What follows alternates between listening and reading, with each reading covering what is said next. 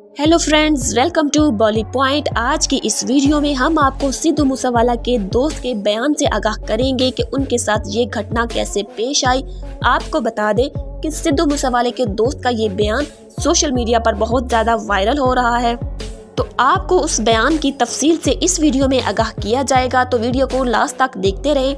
और हमारी आपसे छोटी सी विनती है कि ऐसी मजीद लेटेस्ट न्यूज़ और अपडेट्स के लिए यूट्यूब के इस मुनफरद चैनल बॉली पॉइंट को लाजमी सब्सक्राइब करें। और साथ में लगे हुए बेलाइकन को भी प्रेस करें ताकि बॉलीवुड से रिलेटेड कोई भी न्यूज़ आपसे मिस ना हो पाए। जी हाँ तो आपको आगाह कर दे कि सिद्धू मूसेवाले का दोस्त का कहना था कि जैसे ही हम सिद्धू मूसेवाले के गाँव से उसकी बीमार मौसी का पता करने के लिए उनके गाँव के करीब पहुँचे तो पीछे से एक गाड़ी से हमारी तरफ़ फायर किया गया तो हमने अचानक से गाड़ी रोक दी। तो फिर सामने से एक वाइट कार में से भी हमारे ऊपर फायरिंग की गई। तो सिद्धू मूसावाला ने को बचाने के लिए आगे से दो फायर किए, लेकिन हमें इतना मौका ही ना मिल सका कि हम अपनी और सिद्धू मूसावाला की जान को बचा सकते।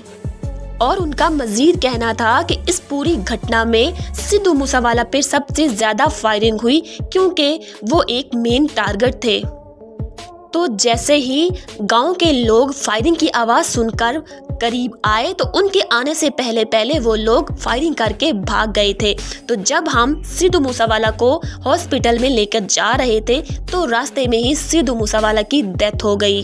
जी हाँ आपको बता दें कि सिद्धू मूसावाला के इस दोस्त के इस बयान को सोशल मीडिया पर बहुत ज़्यादा वायरल किया जा रहा है। वेल well, इस वीडियो में इतना ही। जैसे ही उस हवाले से कोई और अपडेट निकल कर सामने आएगी हम आपको अपनी नेक्स्ट वीडियो की सूरत में लाजमी आगाह करेंगे। तो आपका इस बयान के हवाले से क्या कहना है? हमें अपनी राय से कमेंट सेशन में लाजमी आगाह करें और हमारे इस वीडियो को लाइक कमेंट और शेयर लाजमी करें ताकि आए दिन हम आपको नित नई बॉलीवुड न्यूज़ से आगाह करते रहे। शुक्रिया।